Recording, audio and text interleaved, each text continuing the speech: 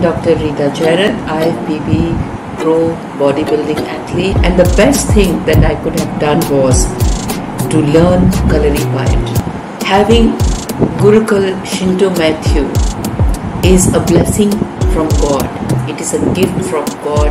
He has made this noble endeavor of spreading the light and taking online classes. I am getting trained under Shinto sir in Kalaripayattu for last six months. It has been wonderful.